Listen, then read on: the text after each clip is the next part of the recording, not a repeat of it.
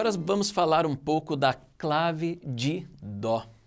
Então é uma terceira clave aqui, um instrumento que a gente é, conhece, o instrumento mais conhecido que usa a clave de Dó, que é uma região mais média ali, fica entre o grave da clave de Fá e o agudo da clave de Sol, é a viola de orquestra. Então, quando eu falo viola, eu não estou me referindo àquela viola caipira, todos conhecem. É um instrumento parecido com um violino, um pouco maior. Então, a viola é um instrumento que lê nessa região mais média, utiliza a clave de Dó. Na clave de Dó, nós temos este desenho aqui, e bem no meio aqui da terceira, bem na terceira linha, na linha do meio da pauta, eu vou ter a nota Dó. Então, o desenho ele é concebido de uma forma que ele me ajuda a identificar aqui que a linha que está marcando a nota Dó é a linha do meio.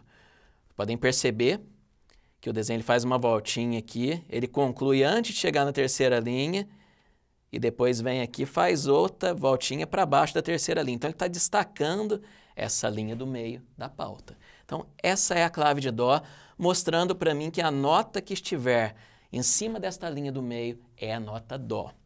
Lembrando que quando eu falo na nota, eu já falei das partes da, das notas lá atrás, eu estou me referindo ao lugar que está a cabeça da nota, a bolinha. Nós temos o Dó está na linha, a próxima nota vai ter que estar no espaço. Então, o Dó na linha, próxima nota depois do Dó, Ré. A próxima nota, já que o Ré está no espaço, a próxima nota tem que estar na linha Mi e assim sucessivamente. Sempre obedecendo aquela ordem: Dó, Ré, Mi, Fá, Sol, Lá, Si, Dó, ascendente ou descendente: Dó, Si, Lá, Sol, Fá, Mi, Ré, Dó. Aqui nós temos o exemplo descendente também, está voltando aqui, sempre intercalando linhas e espaços. Agora vamos falar um pouquinho do endecagrama. Endecagrama, o que seria isso? Endeca, um termo grego que significa 11. Grama, nós já falamos, né, é algo que pode ser desenhado ou escrito. Então a gente pode pensar na linha 11 linhas. Ah, mas aqui eu estou vendo 10 só, por que 11? Existe uma linha suplementar que tem uma nota em comum entre as duas pautas. Nós temos uma pauta aqui com a clave de Sol, uma pauta, um pentagrama aqui embaixo com a clave de Fá, e eu tenho uma nota em comum entre elas, que vai ser a nota Dó. Então podem perceber aqui no desenho, eu tenho uma linha suplementar para baixo na clave de Sol e uma linha suplementar para cima na clave de Fá.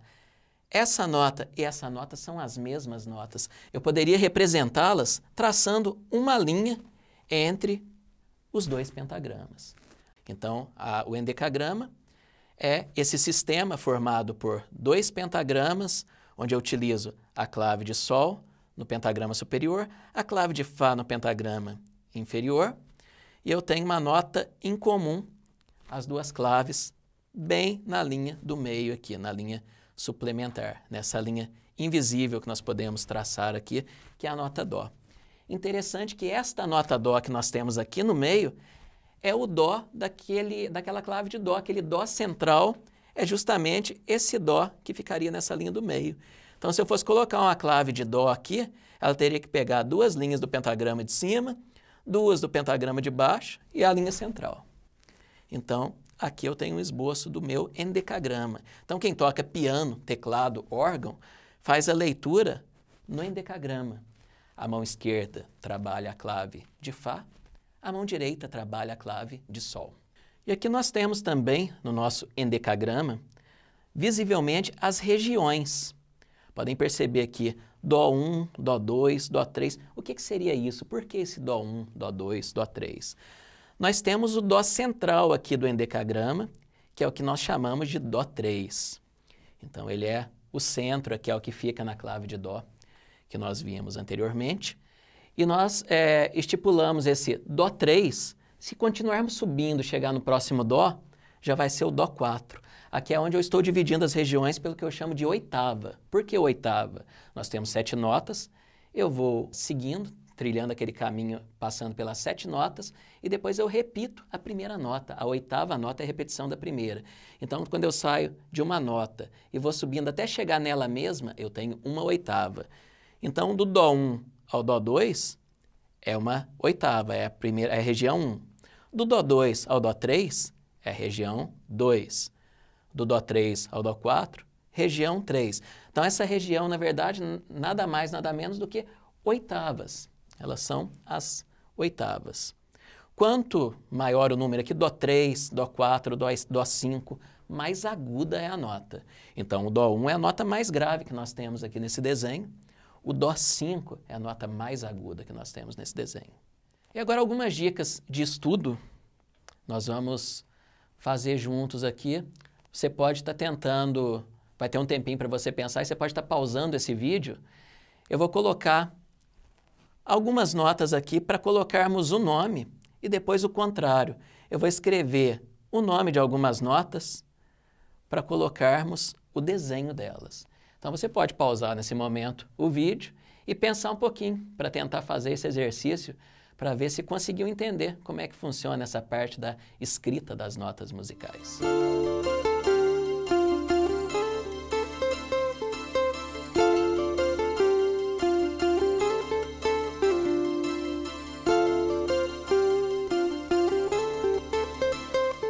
E aí, será que você conseguiu fazer as notas direitinho? Será que entendeu tudo que nós conversamos aqui? Vamos descobrir juntos agora. A primeira nota na clave de Sol, lembrando que a clave de Sol começa a ser desenhada na segunda linha para mostrar para a gente que a nota Sol está aqui na segunda linha. Então nós temos o Sol na segunda linha, vamos subir até chegar nessa nota que nós temos que colocar o nome. Sol na segunda linha, fui para o espaço, para o segundo espaço, eu tenho a nota Lá. A próxima nota vai ser a nota Si, que vai estar na terceira linha. Se eu subir para o espaço, tenho a nota Dó, Dó, Ré, Mi, Fá, Sol, Lá, Si, Dó. E chego nessa linha, finalmente, a nota depois do Dó, Dó, Ré. Então, essa nota é a nota Ré. Essa nota aqui, essa daqui está pertinho da nossa nota referência. Então, ela está no segundo espaço. Na segunda linha, eu já sei que eu tenho Sol.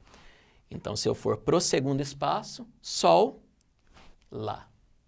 Então, subiu, a nota aqui, a nota vizinha ali, né, de cima, estava na linha, foi para o espaço, nota Lá. Agora nós temos uma nota aqui em cima, ao invés de eu começar a contar aqui da segunda linha, vamos lembrar que eu já vi que essa nota aqui da quarta linha, ela se chama Ré, é a nota Ré que está aqui. Então, se eu estou na quarta linha e subir para o espaço, eu vou ter a nota que vem após o Ré. Qual que é a nota que vem após o Ré? Mi. Pronto, escrevemos o nome das notas. Agora vamos fazer o desenho dessas notas que, tá, que estão pedindo aqui. Primeira nota que pediu é o Fá. Eu posso desenhar esse Fá em regiões diferentes aqui. Eu posso fazer esse Fá, ele está próximo do Sol, é a nota que vem antes do Sol. Então eu posso fazer esse Fá no espaço anterior, onde está a linha da nota Sol. Então, Sol, Fá. Eu posso fazer esse Fá ali em cima também, Lembra quando nós colocamos o nome nessa nota aqui e chegamos à conclusão que era a nota Mi? Se o Mi está aqui no último espaço, se eu subir para a última linha, obviamente eu vou ter um Fá. Então, qualquer um desses dois Fás que você tenha pensado, tenha desenhado aí, você acertou. Aqui nós temos o Fá 3 e aqui nós temos o Fá 4.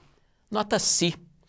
A nota Si está aqui na linha do meio, eu tenho Sol na segunda linha, se eu subir para o espaço, eu terei a nota Lá. Fui para a linha, terceira linha, linha do meio ali, que, é que vem depois do Lá? O Si. Então, a nota Si na linha do meio. Mas eu também posso desenhar a nota Si lá embaixo. Se eu continuar descendo aqui, Fá, fui para a linha Mi, fui para o espaço aqui Ré, fui para essa linha suplementar Dó, desci mais um pouquinho, Si. Cheguei no espaço aqui, eu tenho o Si 2 aqui, tenho o Si 3 aqui. Se eu continuar subindo, eu estava no Fá aqui. Subi para o espaço, Sol. Fui para essa primeira linha suplementar superior, Lá. Fui para o espaço, acima dela, Si. Então aqui eu tenho três formas de representar a nota Si. Qualquer uma delas estaria certa, correta que eu não especifiquei se eu queria o Si2, o Si3, o Si4, ok? E agora a nota Dó. Nota Dó, nós podemos fazer essa nota Dó de três formas também.